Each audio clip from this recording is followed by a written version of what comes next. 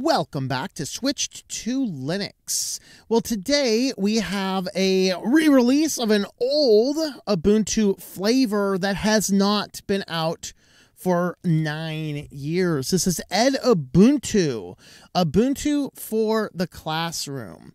So, this distribution has made a comeback mostly because of all of this proliferation of technology in the classroom.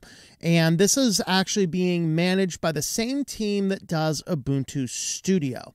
So, if you are not familiar with Ubuntu Studio, again, this is a lightweight Ubuntu desktop. I believe it's based on LXQT, if I remember correctly. Don't quote me exactly. I think that's what it's based on now. And they've shifted it a little bit since I've used it, which is specifically designed to say, I'm going to be a creator for video or graphics or music, and it will have a suite of software to them. Well, the same team put together Edubuntu with the ability to come in and say, I have a preschooler, I have a primary schooler, I have a secondary schooler. And so you can add and remove the software suites and packages based on the age of the child.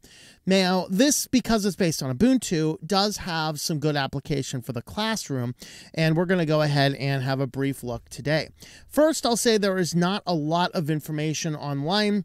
It is officially on the uh, Ubuntu flavors list. So, of course, if you hit the edubuntu.org site, it just right now redirects back to Ubuntu. So hopefully that will get redirected back to uh, the correct site as soon as it is done, and we'll be able to get a little bit more information. So, uh, of course, the other new flavors that just come out uh, Ubuntu Cinnamon. This is going to be the first release of this. Uh, last uh, last cycle we saw Ubuntu, not Ubuntu, but uh, was it Ubuntu Unity uh, down here at the bottom. There we go. Ubuntu Unity. That was uh, a fairly new one as well. Not new this cycle, but uh, definitely a, a new one. So you can see that you do have some some good options. I did have a difficult time finding the beta release for this, Uh, but it is out there. I'm not going to link the beta release because it's so close to when the official Ubuntu's are going to drop. So you'll be able to find it more easily from there. Now, with that, what we're going to do from here is we are going to jump on over and have a look at the desktop itself.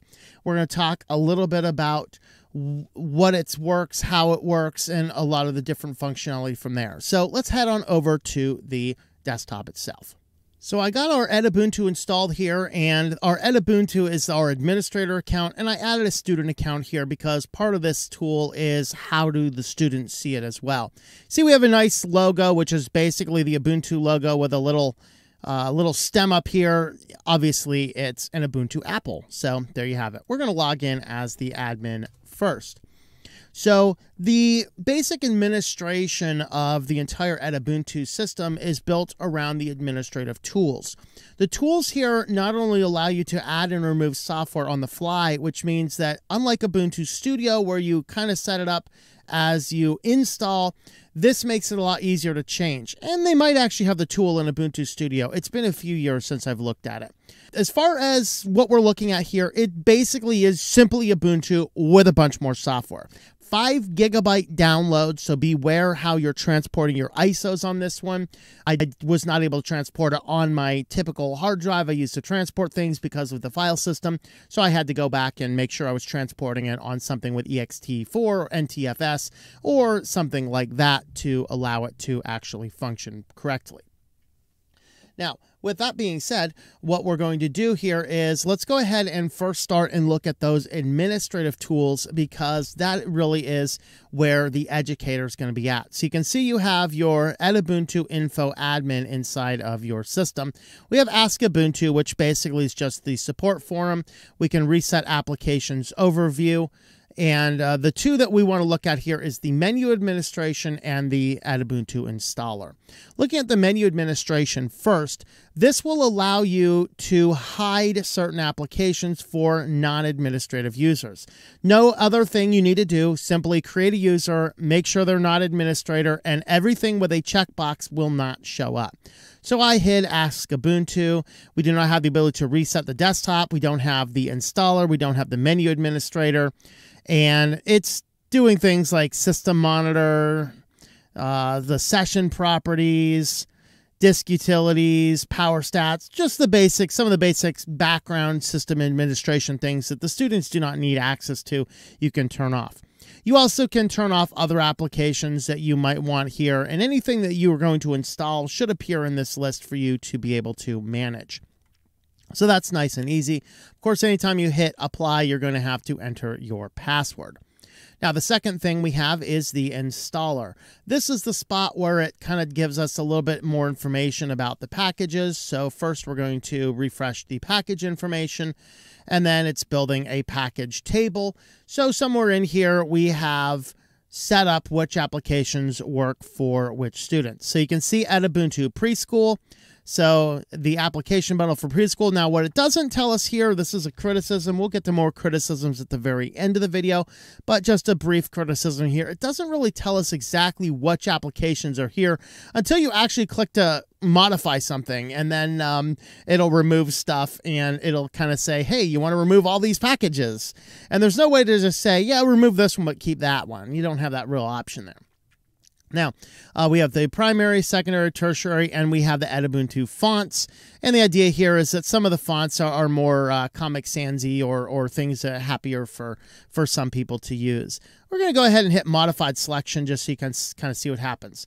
So when you do this, you can see that what it's going to do is it's going to remove Blinken, Compiz, uh, Tux Paint, ULCC. So really, it's like okay, if I want to keep Tux Paint, but I don't want some of the other ones, eh, this really isn't uh, an option. I'm not going to go ahead and hit that. I'm just going to hit cancel and go back because we want to next have a look at all of the different applications that we have. You can change default setup, uh, change it to a setup for a different age group altogether. Uh, you can do that and then um, check or uncheck the things that you want to do. So that's really the administrative tool inside of here that helps out. Now let's go ahead and look at the software abilities. Of course, remember we're, we are here as an administrative, so we have all the administrative stuff on here as well. So looking at the basic tools, we have things for art, and it just gives us, uh, we have our Tux Paint, we have GIMP, we have Inkscape, we have, uh, there's a Tux Paint configurator, LibreCAD, and drawing. We are not going to click in on all of these applications. Uh, maybe it might merit a different video for each one of these different things. Uh, here's some games, and these are all games that are kind of, they're not just games, they're really mind challenging type games. Uh, we have uh, the Brainy here. So this is a variety logic puzzle challenges, mental calculation, memory trainers, verbal analogies, things I don't know. I might want to install uh, whatever else. We have ImageMagick, language and learning has Calibre, ebook editor stuff. Uh, Googly, Hangman, KLettres. So you can see it has a good mix of different tools for a lot of different functions, including some different games to hopefully encourage and challenge kids to learn a little bit. Mathematics. So we even have, uh, I think KmPlot, I think is a graphing calculator. Um, I'm not familiar with that particular application, but we have uh, uh, calculator functions. We have uh, science things, which has like chem tool, chem drawing stuff. We have Stellarium. I did a whole video on Stellarium at one point in time.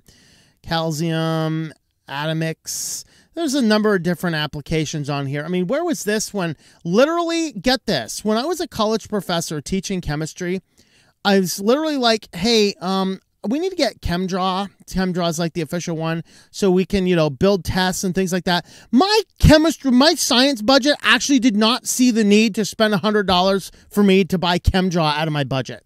I'm like, what in the world is wrong with you people? You're not going to give me software. Of course, this didn't exist back then, and I paid for ChemDraw out of my own pocket. And you better believe the guy was mad when I didn't leave the licensed copy with him. It's like, no, it's my copy. Buy your own or convince the school that you need it. but here we can add our benzenes, uh, we can add our, um, you know, our dimers, all these types of things. Yeah, I said that wrong. Um, so you can add a variety of different uh, different things. Here's your sugars, heterocycles, amino acids. Here's your symbols. A lot of fun stuff. Uh, so that uh, you can go ahead and do that. We're going to. Whoop, uh, yes, we're going to close Chem Tool. I don't need that. But it's kind of funny story. It's like college does not see the need for the chemistry professor to have ChemDraw. it was a sign that wasn't meant to be. Here's some geography. Uh, so this is nice here. Test yourself on your knowledge of the maps, the state capitals, things like that. So you can actually set up little tools. Uh, you know, capital of Olympia. Uh, Olympia is the capital of, you know. So you can go ahead and uh, do these and see what you, all of your your answers uh, answers are and things like that.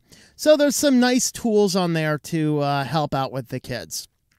So here's your basic technology, which includes your typing tutorials. I think some of these were a couple of games. I think at least one or two of these were games. And then we just have basic system utility things on there. Nothing else specific. So those are the tools and specific things that we get, of course, centered around the administrator. So now what we're going to do is we're going to log in briefly as a student. And when we log in here as a student, uh, we'll go ahead and see what the options all look like. So we're going to log out as our administrator and we're going to go in as our student, enter our super secret password. It's not 123 or kid either, of course. So once we get logged in here, you'll see it's going to look basically the same. It's just as we get into our menus, all those options that we have excluded from the uh, from the tools are now missing. So people can't get in here and change administration settings. You can't see the drivers, software sources. You can still install software, so that's good. And you you know there's possibly an application for wanting to do that. So uh, that is certainly a good thing. But you can see that we do have a, a good computer that has a lot of different software on it. It's not some complete different distribution and that there's something core different about it. It literally is just Ubuntu with a whole lot of educational software with a couple extra tools to manage the system better for uh, parental use. So that happens to be a good system. Now, from here, uh, if you want to look into a good computer to put this on for your uh, family computer, you can have a look at today's sponsor. So, MALIBAL Computers is good customized Linux laptops. They are high end computers. They're going to start you down in the range of about $1,000 all the way up to just under $3,000 for the various things that you get. This is a very good deal. We have at the highest end, we have 16 inch Intel Core i7 uh, 1270H, 64 gigs of memory, NVIDIA GeForce RTX graphics, 2 terabytes of storage, and these will come with your option of different operating systems. If I remember correctly, you have the option of Linux Mint or Ubuntu. You also can get it without an operating system at all, so you can install whatever operating system you would like, or if you want, you can buy a Windows license and get it configured for Windows as well. So, as far as if you want to go with the lower end, these are still really good computers. You have 14 inch Intel Core i5 12500H, 8 gigs of memory. Intel Xe graphics, 250 gigabytes of storage, and that is, I believe that is NVMe storage with a Linux operating system. So if you want to go ahead and customize one of these, you can mix and match a variety of different options. So you can upgrade it to an i7, which is going to cost you an extra 100 uh, $25 there. You can see you can upgrade your memory from 8 all the way up to 64, which is going to come with the extra 240. And uh, with this particular computer option, you only have the Intel Iris Xe graphics. And uh, you do have the option for the NVIDIA with other computer builds. You can see uh, we have a Crucial M2 chip here, and then you have a variety of different options that you can choose from. And then here we have uh, we have Ubuntu, we have Kubuntu, Vanilla OS, Linux Mint, or you can do the Windows. Of course, the Windows are going to cost you the extra licensing fee. So you can see that you have a few different options for there, or you can just select no operating system at all. They're just going to ship it to you with a blank system, and you can go ahead and do that.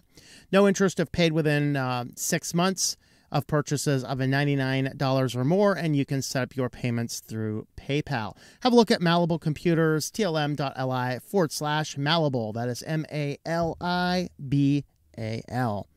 Now let's talk briefly about the criticisms I have of the operating system. It, so as far as uh, I can see, the system itself is pretty good. It is based on Ubuntu, and some people are going to love that, and some people are going to hate that because Ubuntu does indeed get itself. Uh, some people really love it, some people really hate it. There's reasons for the criticism. We're not going to leave it to that. As far as the criticisms outside of, of Ubuntu, there are a couple things that I notice. Really, only two big ones. The first is the desktop environment. This uses the GNOME desktop environment, and I did check it before we started here, and it was using about 1. Uh, 1.2 to 1.5 gigabytes of RAM. So, if we're talking about the typical school computer, it's not going to be a beast. I don't think the GNOME is going to work so well, making this not the best desktop environment or, or distribution, rather, to install on a school wide bank of computers because you're not going to have supercomputers on here if you're running your home based computer and you can put up a decent computer, it's going to work fine. But as far as the type of schools, uh, computers schools are going to have inside of them, this is probably not going to be something you're going to deploy there. Home computer, it's going to work a little bit better. School computer, maybe not. They should have gone with something lighter like uh, LXDE or XFCE or LXQT. There are a number of different desktop environments that they could have used to save a little bit of, of memory there. The second factor I looked at that just made me scratch my head go, huh? There is no Zoom.